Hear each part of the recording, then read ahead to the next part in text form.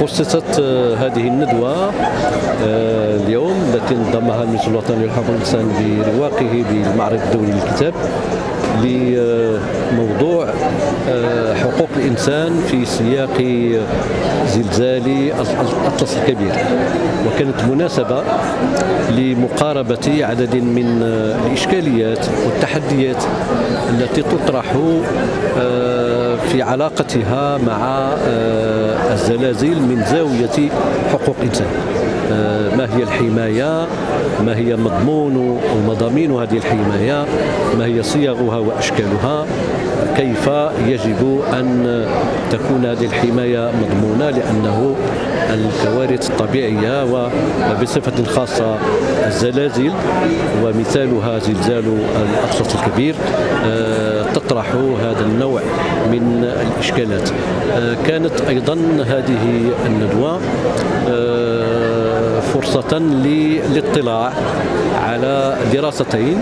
الدراسة الأولى هي التي أشرف عليها المجلس الوطني وتهم بعض الجماعات الترابية تقريبا 40 جماعة ترابية وطلعنا على منهجية عمل المجلس خلال هذه الدراسة وإلى الخلاصات العامة والمخرجات الرئيسية لهذه الدراسة.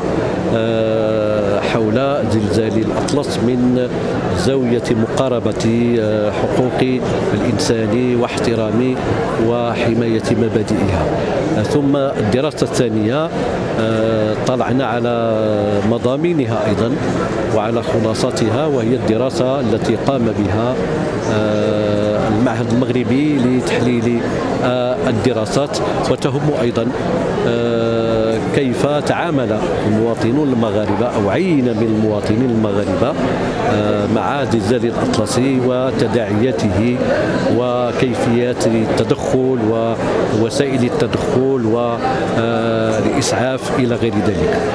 أما العرض الثالث الذي استمعنا إليه فقد قارب موضوع زلزال الاطلس الكبير من زاوية الإعلام والتواصل وكيف تعاملت الصحافة والإعلام سواء منها العمومي أو الخصوصي أو وسائل التواصل الاجتماعي ومختلف وسائل ووسائط الإعلام والتواصل مع كارثة زلزال الأطلسي الكبير ومسألة الوصول إلى المعلومة الصحيحة وأيضا مخاطر ومنزلقات المعلومة المزيفة أو الزائفة أو المضللة في هذا الموضوع.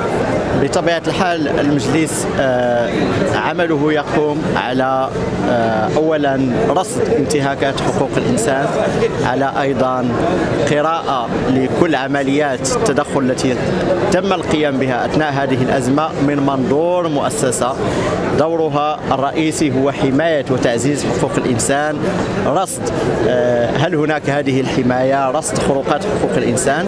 لحد الآن العمل بدأ. ستصدر هذه الدراسة. ثم بعد ذلك ستكون هناك دراسات أخرى.